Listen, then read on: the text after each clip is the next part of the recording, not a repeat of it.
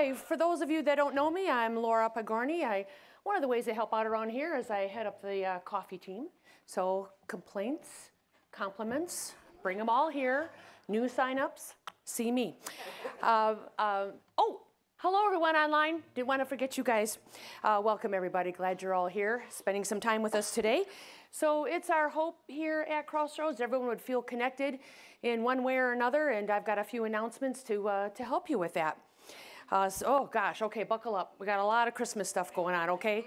And everything is in your bulletin, so just kind of like, what did she say about whatever? You can just circle that back, and I'll be here um, out at the welcome area after the service, and you can come talk to me if you need a clarification on anything. Ben just walked in the door right on cue. Thank you. I'm starting announcements and we're starting with you guys. We've got the uh, carol crawl tonight at 6 p.m. Not too late to join in the fun.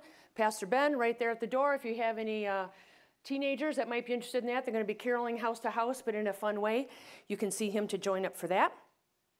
Also, the youth are going to be doing their annual Maltese Manhunt, which is a really fun event where the uh, youth, if they choose to accept the assignment, they go over to the uh, 12 Oaks Mall and try to find the costumed leaders of the church, and it's always a good time. So that'll be Friday, the 16th at 5:45. You can see Ben about that as well if uh, your kid wants to participate in that. And then, am I going too fast? No? Okay, all right. like, raise your hand if I need to slow down, right? Because I can talk pretty fast. Also, next Sunday, after the service, now we're going to move on to the kids. They're going to have a um, Christmas parade, but everyone's invited for that. We're going to go to South Lyon Rehab over on Sweet Reynolds Parkway. So it's going to be outside the, the building. Just wear your festive, you know, holiday clothes, maybe make a sign. We're going to be parading outside the perimeter of the building for all the uh, residents to look outside their windows and we can spread Christmas cheer. So have your Christmas smiles on for that. So we've done this um, in the past, and it's always been a fun family event. So we encourage everyone to do that. That'll be right after the service on Sunday next week. And then also next Sunday, because you could go do that and then come back because you like filling your days for a cookie exchange. That'll be at 2 o'clock. It really is just for the ladies, but if there's any guys that really, really want to go, uh, you, know, you can let us know, right? so that would be you make five dozen cookies, you bring it to the exchange, a lot of festivities going on, and then you would go home with five different dozen cookies. So that, that's a cool thing to do. Then the men and women's group, so we're covering everything here. You got it, you got youth, you got the kids, you got everybody. The men's and the women's group are um, combining on the 20th for a fellowship potluck dinner. So that'll be at 6 o'clock. Um, sorry, my bad, 6.30. So that'll be here at the church, and that'll be on the 20th. So all are invited. You don't have to be participating in the fellowship groups that meet weekly. This is just a way for everyone to uh, be in community with each other and to meet some new people. So 20th at 6.30. All right, Christmas Eve. Who's ready for that? Oh, everyone, yay, right? As always, we have two services. It'll be 5.30 and 7 o'clock. No childcare. It'll be kid-friendly services. So have your kids come with you. Guess what? You can wear your pajamas kids, kids. You can wear your pajamas, okay? Although, you know, I love those families that have their matching outfits. That would be really cool to see. I can think of a couple families in mind that might do that, uh, which would be a whole lot of fun. And we're going to have busy bags available for the kids, so they'll be here in the service. So that's Christmas Eve. That's Saturday, 5:30 and 7.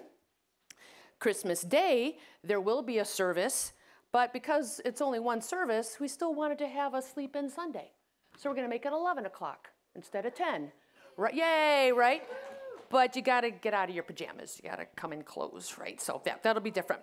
So sleep in Sunday for Christmas Day and also uh, New Year's Day. And you know what? I, forgive me. Let's do. Can we just rewind this and back up? I made a mistake. I'm sorry. It's Christmas Day that the kids wear their pajamas. Forgive me. Christmas Eve, it's just all dress up clothes. So Christmas Eve um, is regular. Christmas Day is when the kids come in their pajamas. And I do have it right in the bulletin. Sorry. All right, so Christmas Day, New Year's Day is um, the 11 o'clock sleep-in service days. This is a lot of announcements. I think I, whew, I think I went over, right? All right, so beyond all that, again, it is our hope everyone would be can feel that they can be connected. A lot of ways to do that. We've got the website uh, the app, the Facebook page, certainly the bulletin, the welcome table afterwards. You can see me. Um, uh, I did say email, yep. So at that point, again, our heads are all swimming with all this information, right? So feel free to talk to me after and help straighten me out if I made a mistake on anything.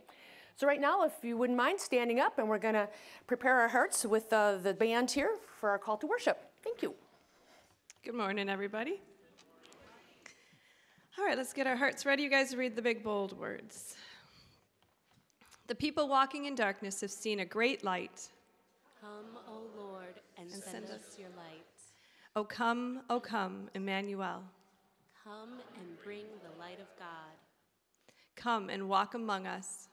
Be our Savior and our friend. O come, O come, Emmanuel. Come to bring us your peace. Amen. All right, so we've got a new song for you. Um, if you are comfortable singing along with the verses, feel free, but otherwise you can join in when the ensemble joins in too.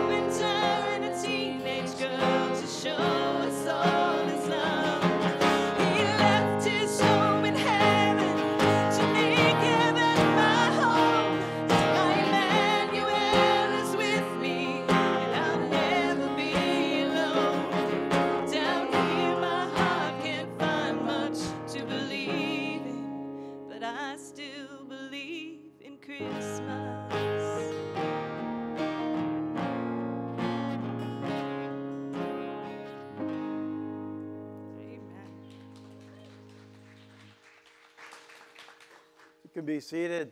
Good morning. I'm Dave. I'm uh, one of the pastors here.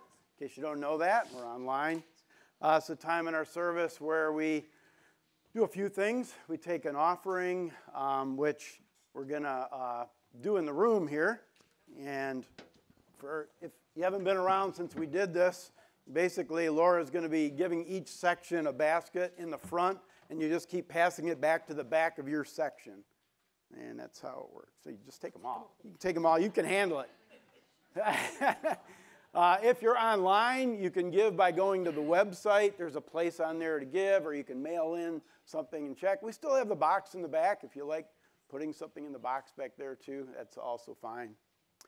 So, one of the other things we do at offering is we look at a scripture and that kind of focuses our hearts on giving. And uh, we're looking here at Romans 12. Therefore, I urge you, brothers and sisters, in view of God's mercy, to offer your bodies as a living sacrifice, holy and pleasing to God. This is true worship. And like we say around here at Crossroads, you know, giving isn't just about financial, it includes that, but it's so many ways. It's your time, your talent, your treasure, your story, your testimony. And so there's so many ways we can be that living sacrifice and uh, we can offer ourselves in that way. And there's a couple opportunities coming up. Uh, so, City Covenant, which is our sister church down in the Brightmoor section in Detroit, are looking for uh, getting gloves and scarves and, uh, and hats. Uh, and there is a basket if you're interested in giving of those. It's out. I think it's still out in the hallway, right? It was out there earlier, like near the door, and uh, you can come and bring bring those in or bring those in during the week.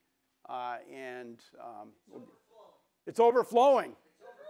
So you've already been bringing it in. So awesome, yeah, and keep it coming. And the other opportunity, which is really big uh, here and helps out so many people, is this is our gift card drive. So you're basically getting a gift card, bringing it in, and uh, those, you know, those will last. Like I think they lasted through the whole year last year, right, Joe? Um, yeah, he said we just got rid of, we were just able to bless somebody with one.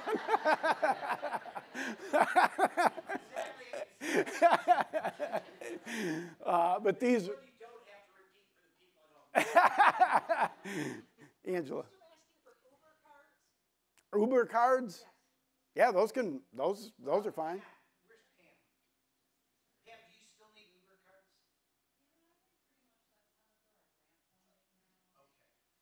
But somebody might still use them too if we had them, right? So. Okay. I got overrode by the co-pastor. Said no. So, but um, but really, uh, uh, you know, there's a question mark card there. Maybe that's gas. Gas cards are really, especially with gas prices, how they fluctuate and go way up. Um, those would be really helpful too. And these really, really help people uh, that are in a bind and in a pinch and don't know where they're going to get their next meal for the week. You know, and they can get a card from the church, you know, and go do that. That's awesome. So, really appreciate everybody to do that. So, I'm going to, um, before we dismiss the kids, I'm going to say a prayer and whatever's on our hearts, you probably have people on your minds and on your hearts. Maybe it's a need you have, and we'll lift those all up uh, collectively. And also, if you didn't get a uh, communion cup when you came in, you can just, uh, after the prayer, raise your hand, and Linda will make sure you get one. So, Father God, we just come to you right now, and um, we're just so grateful that you we can come to you and bring our needs and our requests. And there are those on our hearts that were, you know them all as we lift them up to you. And we pray that you will meet those needs, that you will touch lives, that you will bring encouragement, hope, help, financial help, whatever it is, Lord, that you will pour out your blessings from heaven and meet those needs and touch those people that were that are in our mind's eye and that are here in the room. And we just thank you for doing that and we ask these things in Christ's name. Amen. So, yeah, if you need a communion cup, and then kids, you can go back with uh, Miss Shannon. Looks like she's got a good craft going for you. So, and the rest of us, uh, let's stand up and continue to worship. All right, so we've got a familiar Christmas carol here, but we have changed it up a tiny bit. So, how many of you know Little Drummer Boy? Yes. Uh, you're not going to be singing any Parumpa Pum Pums today, so I'm really sorry. If you love those, not today. You can go play it in the car on the way home. So instead of the Parumpa Pum Pums, the ensemble is going to be singing some hallelujahs, but you can sing along with me and then stop if you want, or you can kind of catch up what they're doing and sing with them. But before we sing the song, I wanted to just share. Uh, you know, the last couple years, I've really grown to appreciate the lyrics in this song. As a kid, I just kind of sang them because it was fun to sing Parumpa Pum Pum, and I'm taking that joy away from you today. but you know, this this song, it's just the, the beauty of it is the simplicity of it is just, you know, what this little boy had nothing to give him except for playing his drum. And for us, sometimes, you know, you feel stripped away like you've got nothing to give him, but you can give him your gratitude, your hallelujah. And hallelujah is just saying, I praise you, God, for who you are in my life. And that is what the song Gratitude sings about. It sings, All that I have is a hallelujah. And I thought those two songs fit together really, really well. So I had to change the song up a little bit. That's why I had to take out the parumpa pum pums. So don't sing them.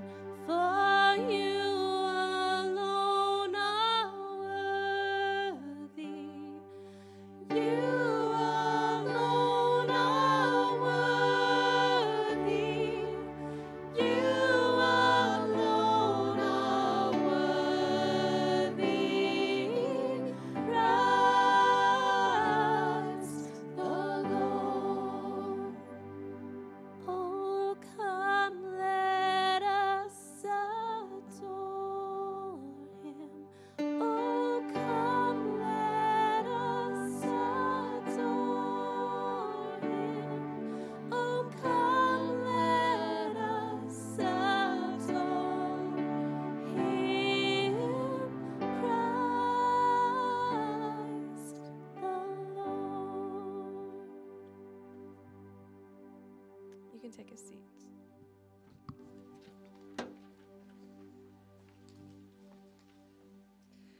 All right, we're going to move into our time of prayer. And I just wanted to share a little something with you before we go there. So, a couple weeks back, um, I was struggling with some anger issues. I had some stuff going on in my life that was just making me mad. And, you know, not that there might not be anything wrong with anger. I know you can use it constructively, but it was kind of just getting at me and I could feel it.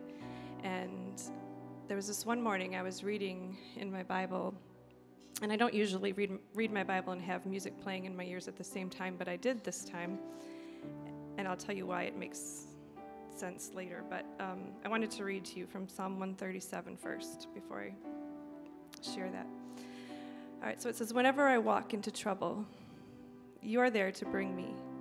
You hold out your hand to protect me against the wrath of my enemies and hold me with your right hand.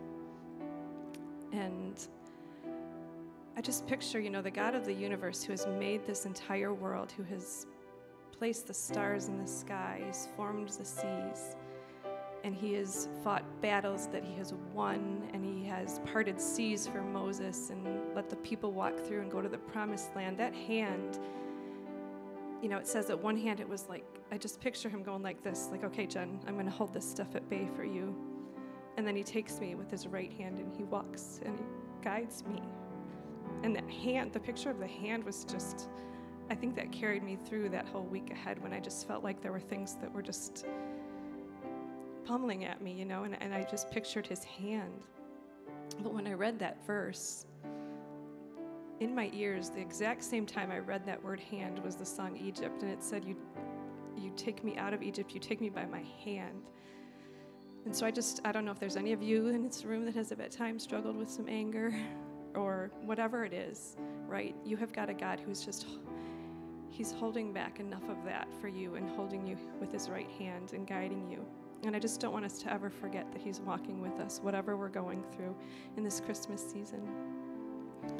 So let's just take some time right now, and I want to, all of us together to read the words that are on the screen from Psalm. My strong hand will stay with him and sustain him, regardless of trial or foe. My mighty arm will be his strength and shield. That was written for David, who's going to be, I don't know if he was going into battle or whatever it was that was going to be happening, but that was God speaking about David. So let's read that together one more time. My strong hand will stay with him and sustain him, regardless of trial or foe. My mighty arm will be his strength and shield. And then the next verse, let's read together from Isaiah. So don't be afraid, I am here with you. Don't be dismayed, for I am your God. I will strengthen you, help you. I am here with my right hand to make right and hold you up. So let's just close our eyes and let's just take a minute. And let's just acknowledge to God those things that maybe are pulling us away from Him. And I just, I pray that you could feel His hand just holding yours and guiding you back. So picture His hand, whatever it is that you need in life, to let Him guide you.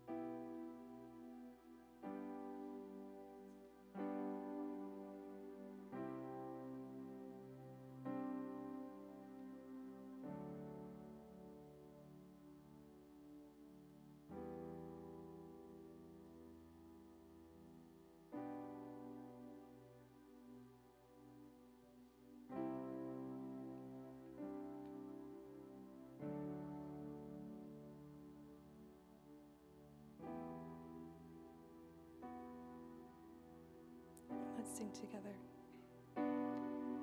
You stepped into my Egypt. You took me by the hand. You marched me out in freedom into the promised land. Now I will not forget you, God. I'll sing of all you've done. Death is swallowed up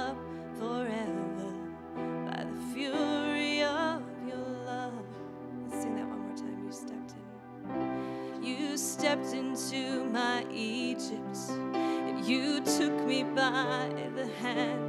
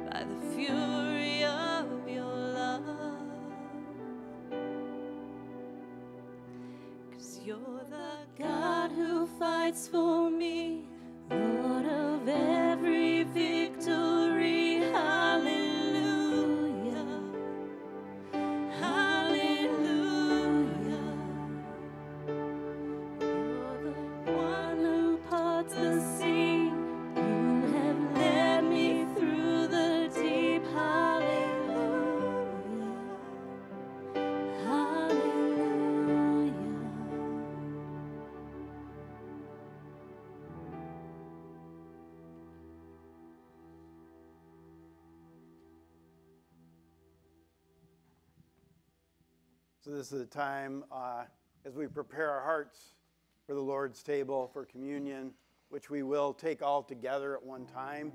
Uh, and it's still, if you need any, they're- in the back, right behind the back row, if somebody still doesn't have one. Uh, but this is a time of confession. And it's a time uh, to confess those things, those places in our lives and our hearts where we've, we've missed it. You know, we've missed it with God, we've missed it with loving God and loving people. And that's what God longs for us to do is to come to Him and confess those things uh, because He longs to connect with us and to bring forgiveness into those places.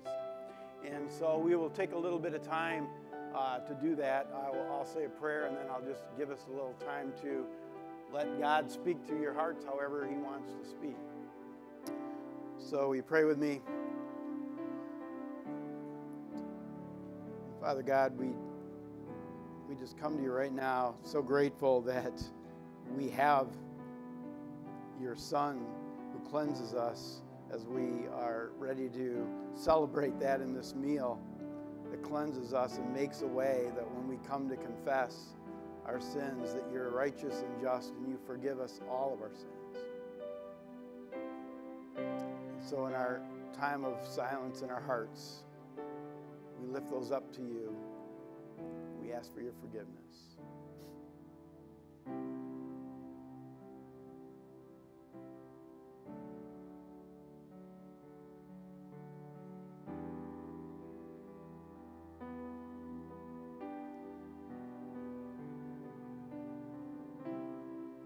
Lord, we thank you that we simply we simply ask and come to you and you forgive. And now I pray that you will have your blessing on the bread and on the cup that will fill us up, that it will be our daily bread coming to us and filling our souls. We ask these things in Christ's name. Amen. It's also a time when we profess, we confess and we profess uh, that Jesus Christ is fully man, fully God. He's Lord when we come to the table. And there may be people in the room or online who said, you know, I'm not really at a place where I'm ready to profess that. Um, that's okay. Just really glad you're on the journey. Uh, and because we're not going to ask you to profess something you're not ready to do. But if maybe you're thinking, like, well, you know, I think maybe today I am for the first time, um, this is a great way to come to God in, at the communion table. And if you do that in the room and it's the first time, you know, see me or Pastor Joe afterwards, or if you're online, please let us know that. Give us a connection at ecrossroads.net and let us know you've done that. We want to reach out to you and help you in that journey. And so we think about communion, we think about that Jesus, that night, Jesus was celebrating Passover with his disciples. And as part of Passover, there was bread, there was the cup. Um, and as he took a piece of bread uh, and he broke it, he said to his disciples, This is my body given for you. Take and eat all of it. Let's eat together.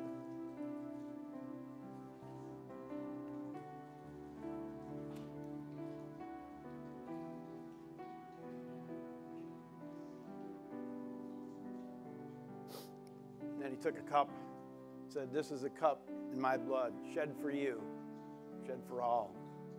Let's drink together.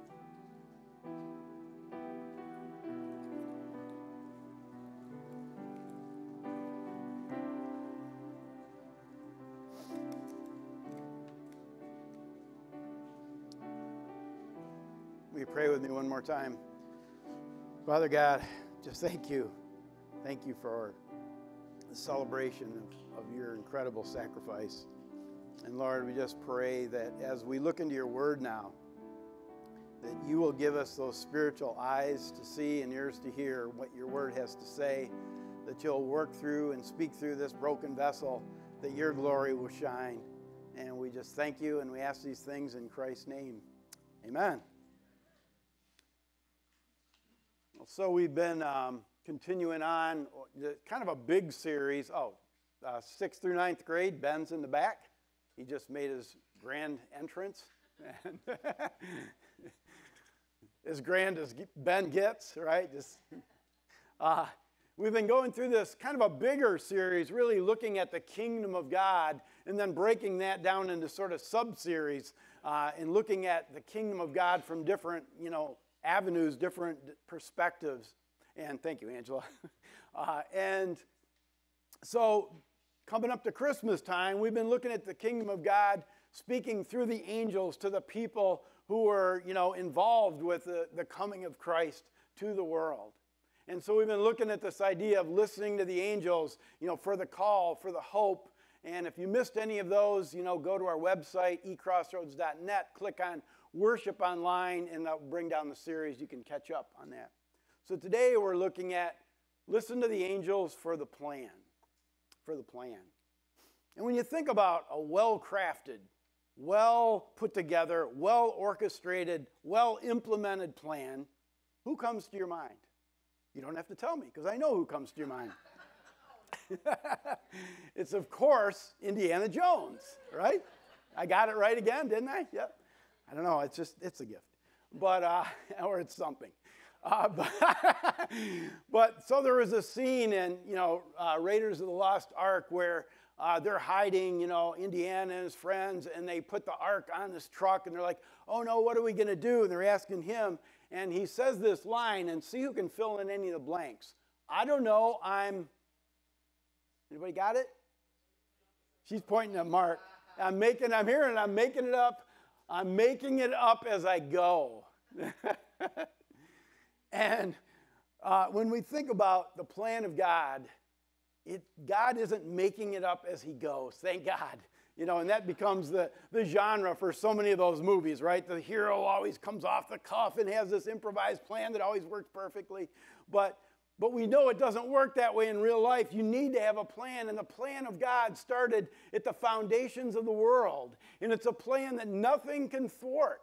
Nothing spiritually, nothing human, nobody, no enemy, nothing can thwart the plan of God from being carried out. It's going to happen. And so, as we look at that, we're going to be looking at how the angel came to Joseph. And I know a lot of us know the story, but quick recap Joseph, a young Jewish man, he's married to Mary. And married back then, of course, was this kind of process of betrothal, and there was monies exchanged. The whole community, you know, in, in his area would have been involved and there was a time where they didn't come together intimately yet. Um, that happened later. And so they weren't at that intimate part. They had no intimate relationships. And so Mary, of course, turns up pregnant, which in an honor and shame culture, that would have been like huge, a huge thing. And so you can only imagine the young Jewish man like Joseph being, What do I do? I just being so freaked out. And so that's where we pick up our story in Matthew. It goes like this Now, the birth of Jesus Christ took place in this way. When his mother Mary had been betrothed to Joseph, and here's that part before they came together, she was found to be with child from the Holy Spirit. And her husband Joseph, being a just man and unwilling to put her to shame, resolved to divorce her quietly. But as he considered these things, behold, an angel of the Lord appeared to him in a dream, saying, Joseph, son of David, do not, be, do not fear to take Mary as your wife, for that which is conceived in her is from the Holy Spirit. She will bear a son. You shall call his name Jesus, for he will save his people from their sins. And this took place to fulfill what the Lord had spoken by the prophet Behold, the virgin shall conceive and bear a son, and they shall call his name Emmanuel, which means God with us. When Joseph woke from sleep, he did as the angel of the Lord commanded him. He took his wife, but knew her not, didn't come together until she had given birth to a son, and he called his name Jesus. So, the plan. He brings the plan, and in this plan, oops, sorry about that. In this plan, he says he will save his people from their sin. That's the plan. He will save his people from their sin. And we see that thread all throughout Scripture. Uh, just a few examples. Here we see the angels say it. We hear Jesus, who calls himself the Son of Man sometimes, says the Son of Man came to seek and save the lost, the lost in sin. Paul says, here's a trustworthy saying that deserves full acceptance. Christ Jesus came into the world to save sinners, of whom I am the worst, Paul says. And when we think about this, and you hear me say this probably every time I'm up here, is that that's relational. That's relational. It isn't like, oh, you're, you know, you have this sin and, you know, I just want to punish it or, or, or I could, but it's, sin is a barrier. God wants us to have this intimate relationship with Him, and sin gets in the way. We can't clean ourselves up. We don't have the capability. We need a Savior, and that's what Jesus Christ came to do, is to clean us up in sin so we can have this beautiful, intimate relationship with the Holy God. And that's, that's the plan, and we see that throughout Scripture. And so, as we look at this story with Joseph and the angel, we want to look at the lessons that we can learn from that story. And so we're going to look at uh, how God's plan is reliable. We're going to look at how God's plan is righteous. And we're going to look at how God's plan is discipling. And you can decide if that's a real word or not. It's not a typo of disciplining, okay? So, this idea that God's plan is reliable, we see here that the angel says to Joseph, do not fear to take Mary home as your wife.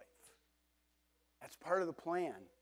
Sound, I can imagine how crazy this was for Joseph and how scared he must have been because this could have taken you know, him down, his reputation. I mean, so many things. And he says, Don't be afraid because that's the plan. And he's hearing this plan from the angel. Where do we hear the plan from? Well, we hear the plan from Scripture. We hear the plan from the Scriptures. And, you know, we see this idea of the Scriptures telling us and Jesus' words telling us that this is something we can come back to. The Scriptures are something, a reliable messenger of the plan that we can look at as a foundation and keep coming back to when we get scared like Joseph. Do not fear, we've got something solid. And Jesus we see this in his teaching. At one point, he's talking to the Pharisees, this religious guys, right? And he says this to them You diligently study the scriptures because you think by them you'll possess eternal life. But these are the scriptures that talk about me. I'm in the plan, I'm in these. And then, when Jesus died and resurrected, you know, he didn't like resurrect and ascend right into heaven. He walked around the earth for quite a while. We don't know exactly how long, could have been weeks, maybe months of time before he ascended into heaven. And he showed himself to hundreds of people.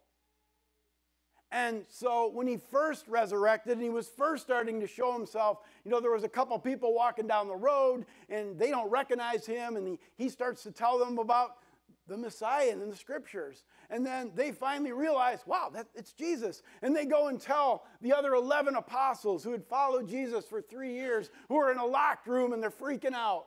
And they're like, we saw the resurrected Christ. And then all of a sudden, Jesus himself walks into the room.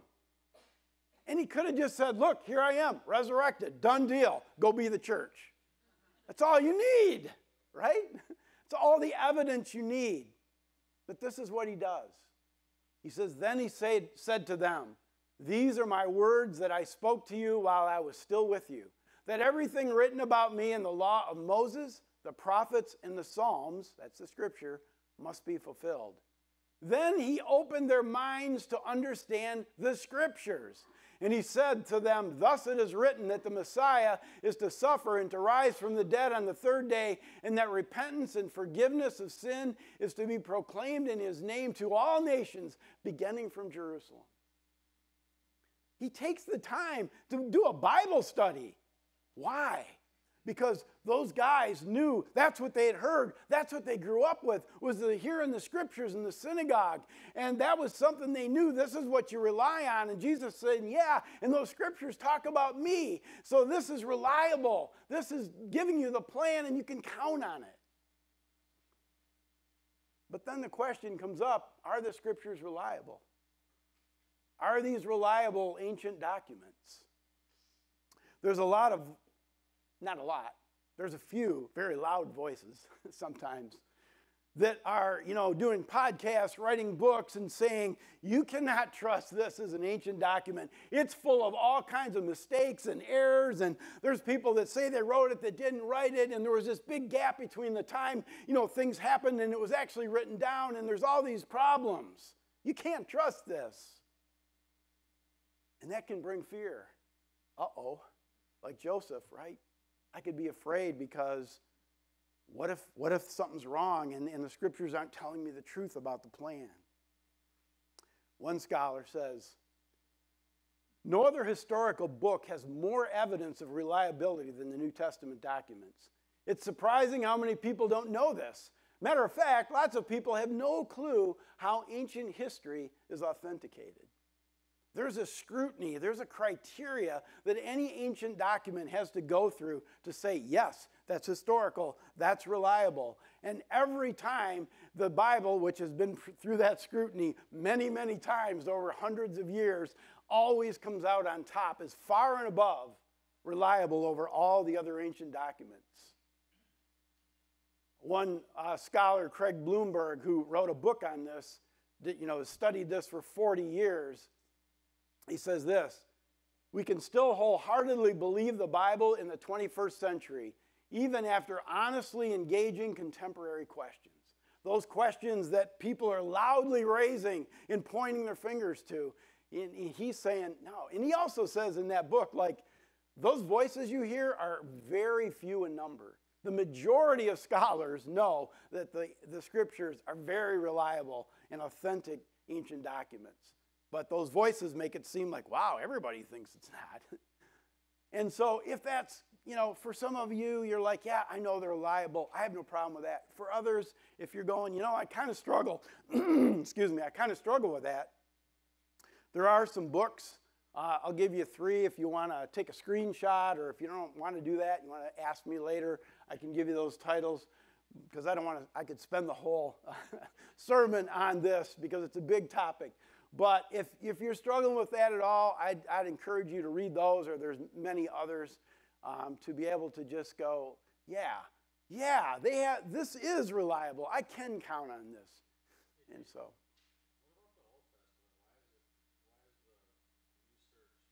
Yeah, why is somebody, uh, Paul asked, why is the research focused on uh, the New Testament? It actually isn't. There actually is uh, research done on the Old Testament as well. Um, and that gets covered in some of these books too. But the New Testament um, gets, I think, gets more press, gets more coverage, and there's uh, there's a lot more because that's the part about talking about Jesus, right? So people are like, oh, well, if that part's wrong, then maybe Jesus, you know. So that that gets more coverage. But yeah, both all of that has been put through uh, the same scrutiny. Great question. So, another part of this idea of the plan and fear is, you know, when you think about Joseph, you know, as a young man growing up, what did he hear the plan was? What did the 12 disciples that followed Jesus hear that the plan was? And for them, what they grew up hearing is the plan of God is unfolded through a nation. That's how he did it before. He'd raise up Israel to be this great nation, which is supposed to be a light for the world to see. And so now, in this time when the angel comes to Joseph, what's going on with the nation? Well, they're taken over by the Roman government. And so all the, you know, the, the writings and the rabbis at the time, they're like, the Messiah is going to come and again bring our nation, and the plan will work through a nation, and will, he'll raise up this great nation again and get the shackles of the Roman Empire off our back. He'll raise up an army. He'll go through and become a new government. And that's how the plan will work, because that's how God worked before. And so a lot of the, the apostles that were following Jesus were often scared and freaked out because, like, why isn't Jesus raising an army? What's going on? Why isn't he building up our nation? And what they had to learn, what Joseph has to learn, and some of us, even in today in America, have to learn because I, I talk to people and I hear people say, I'm really afraid. I'm really afraid because this nation is going down the tubes and it's going away from God. And I'm scared. And what the angel is saying to Joseph and to the apostles and to us is, in what Jesus says, is, I will build, no, not my nation, I will build my church, and the gates of hell will not prevail against us. And so, God in that church is a group of people who are in every nation, whether they're a free nation, whether they're not, whether they're an underground church. And, you know, that's how He works. So when our heart gets afraid, and yes, as Americans, we can do our duty to, to vote because that's fine. We have a voice. But the people in the first century had no vote, they had no power, and somehow the church thrived and grew and changed the world. And so when our hearts get scared, let's just remember God works through a church, and that's us. And that plan is reliable. The second lesson we can learn from this is God's plan is righteous. We see this idea that it says Joseph was a just man. That word in the Greek is dikaios, means righteous, and some English translations say he was a righteous man. And that word righteousness is kind of a theological term too, and it talks about God's character, that God is righteous. But it also means that when we connect with Him, we're supposed to be righteous too. We take on His attribute. The dictionary of uh, theological terms says righteousness denotes the type of life that ought to characterize Jesus' disciples. So when you think about Joseph, right, and you think about doing what's right and righteousness, you know, he wanted to follow the law and really by rights he could have taken Mary, and I can only imagine, like, we, you know, we think of our modern world with dating and that. It's possible that Mary and Joseph didn't even really know each other very well at this point. And all of a sudden, she comes up pregnant. I can't imagine in the shame and honor culture if he was angry, if he was embarrassed, he could be, you know, divorcing her. There was money that had been spent. There was all this stuff. And by rights, he could have taken her publicly before a group of people and said, Yeah, you embarrassed me. You're going to pay for this. I'll humiliate you. And people would have said, That's a righteous man. That's right. Legally, that's right. But is that what Joseph does? No, Joseph shows compassion. He shows the kind of righteousness that Jesus showed. He shows the kind of righteousness we're supposed to have as Christians. We could say, Holy moly, we're called holy to live the holy.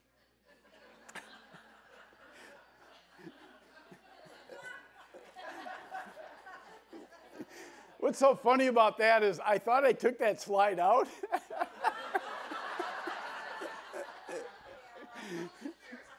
Must be God. It must be a God thing. Because when Joe said that line, he said, Dave is going to do something with that. So I thought I would, and I'm like, nah, I took it out. But the Lord brought it back. I don't know. ah. Joseph's obedience to the law is not legalistic. He's concerned not only about his own obedience to the law, but also about showing compassion for Mary and having regard for her well being. He does not abandon his faithfulness to the law in order to care for Mary, nor does he abandon Mary when her condition presents him with a dilemma about his own righteousness.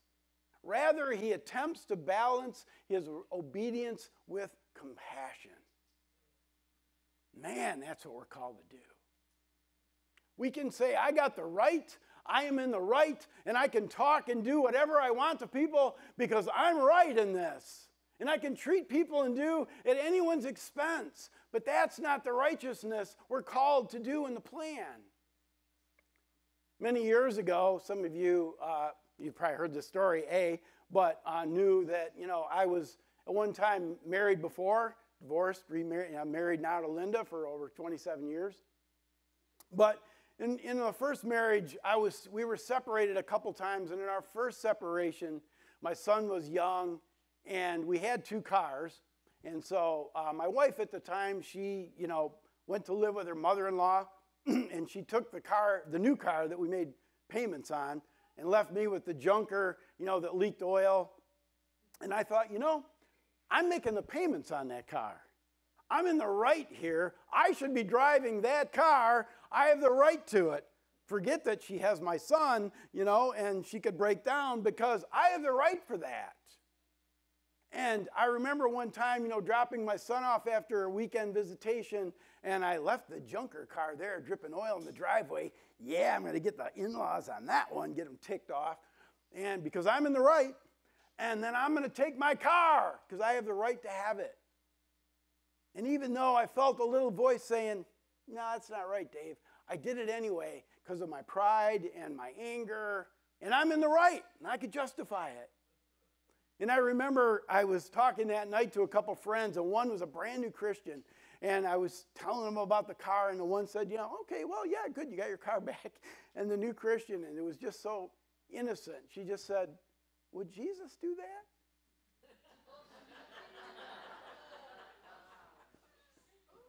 I'm like trying to come up with, you know, she doesn't know. She's a young Christian. What does she know about this?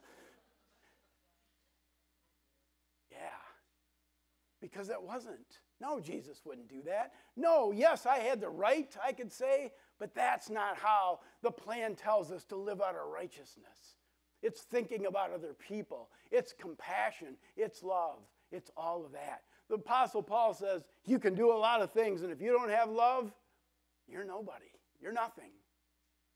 So the plan is righteous, and we're to carry it out in that way. And thinking about that incident for me, that was very dis- discipling. and uh, is that really a word? Well, if you go to the 1913 Webster Dictionary, they call it a verbal noun. My Greek professor would have freaked out at that verbal noun, but um, discipling was a word, so we can still say it's a word. But I like that idea because we think about being a disciple and we think about discipline, and there are a lot of similarities. So, one example is Jesus tells his disciples, I give, a new, I give you a new commandment that you love one another just as I have loved you. You, you should love one another. By this, everyone will know that you're my disciples if you love, have love for one another. Notice he, notice he doesn't say, if you do what you, if you exert your rights, however you want to exert them, however way that looks, everyone will know you're my disciples. because what happens when we do that? People go, wow, that's a disciple? I don't want anything to do with that. No, you'll, they'll know you're my disciples by their love.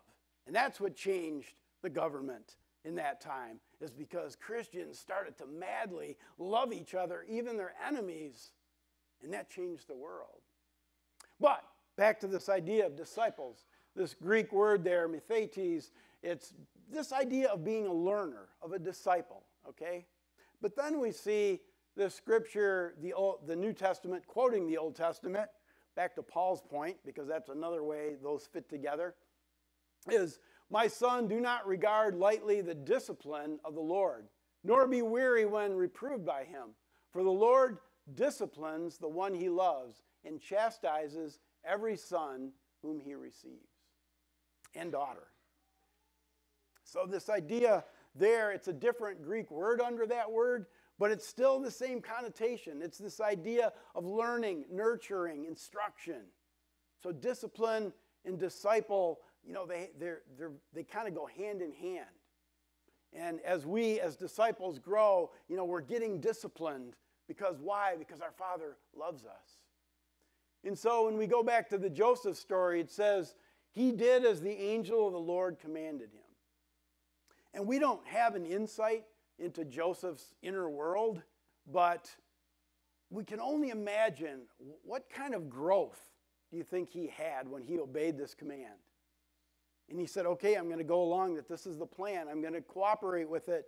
And he got to see things like, you know, the shepherds coming saying they saw angels, the wise men coming. He got to see when his son, growing up at 12 years old, is, you know, speaking in the temple with adults. I mean, all the other things he saw.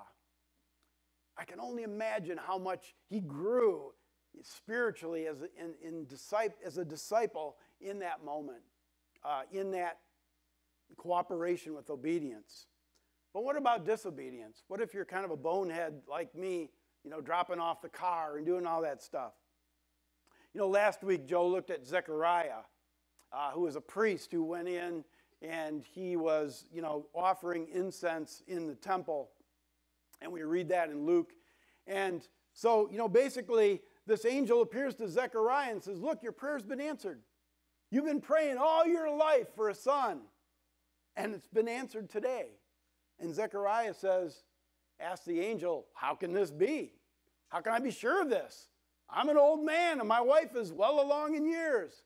The angel answered, I'm Gabriel. I stand in the presence of God, and I have been sent to speak to you and to tell you this good news. And now you'll be silent and not able to speak until the day this happens, because you did not believe my words, which will come true at their proper time. And you could say, yeah, see, God just, you know, send him to the woodshed. You're not going to be able to talk for nine months. Go sit in the chair. And some people have interpreted that. But a lot of people throughout the centuries have looked at this as can you imagine the spiritual growth, the, dis- the discipling that went on in his soul as he was just quiet? He couldn't talk. And we see when he finally does talk, I mean, man, this beautiful poetry comes out filled with words about God's plan and his belief and his faith, as you could see, has exploded as he's grown over those nine months in silence. So God wasn't there just going, All right, I'm just going to punish you because you didn't believe. No, I want to disciple you. I want to take that struggle you're having and build into you so that that, that comes out and you grow. One writer says, Though there will be times when we disobey, there's forgiveness as we repent and return to the Lord. This process of discipleship, or sanctification, it's called, which restores the image of God in us, takes a lifetime and is completed only in the world to come. But we can make great progress in this world, which should be our highest priority. Even though we're still in the process always of change, doesn't mean we can't be effective and grow, and we want to do that. And as I think about that process of discipleship, you know, this I read this on a site called, you know, the C.S. Lewis Institute. And the writer was Thomas Tarrants. And I'm like, why, why does that name sound familiar? And I remember I had read a book that he was mentioned in quite a bit in, in that book. And then I looked him up, and he also has his own book called Consumed by Hate, Redeemed by Love. And Thomas Tarrants was a guy back in the 60s who was a hardcore racist. He was part of the Ku Klux Klan. He was into the violence. He was into all that stuff. And he ended up in prison. And in prison, he, he met Jesus Christ. And it changed him. And he was discipled. And he got in touch with the plan of what righteousness means. And he found out that, wow, everyone is valuable in the sight of God, no matter what ethnicity, no matter what skin color, no matter what, they're all valuable in the sight of God. And now he has a ministry for racial reconciliation. Why? Because he got on the plan, the good plan, the reliable plan, the righteous plan, and he was discipled. And that's where discipleship takes us. So, as we come to a close, will we commit to following God's plan? Will we commit when we feel afraid and we need to get back to what the plan really is that He works through His church, He works through His Holy Spirit, that His scriptures are reliable? Will we get back to knowing, hey, what righteousness looks like? It's a righteous plan, and I want to live that out in a godly way and just be able to cooperate and connect with that idea of being discipled. Will you pray with me? Father God, I'm just so grateful. Just so grateful for your plan.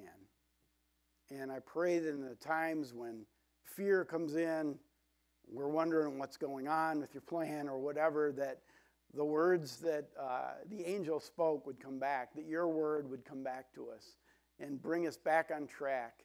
That, Lord, when we're acting out in the world and we're doing what's right, that we remember we do that only through love and compassion, not just for ourselves, but for other people. And that we could truly live out your righteousness. And that we will be able to cooperate when you are disciplining us, discipling us, that it's for our good and for us to get closer to you. And let that reminder just keep on reminding us, not just today, but all the way out, day after day, through the Christmas season into next year. And we thank you and we ask all these things in Christ's name. Amen. Oh, may the Lord bless you, keep you, and his face shine upon you, and give you his peace. Have a great day. God bless you.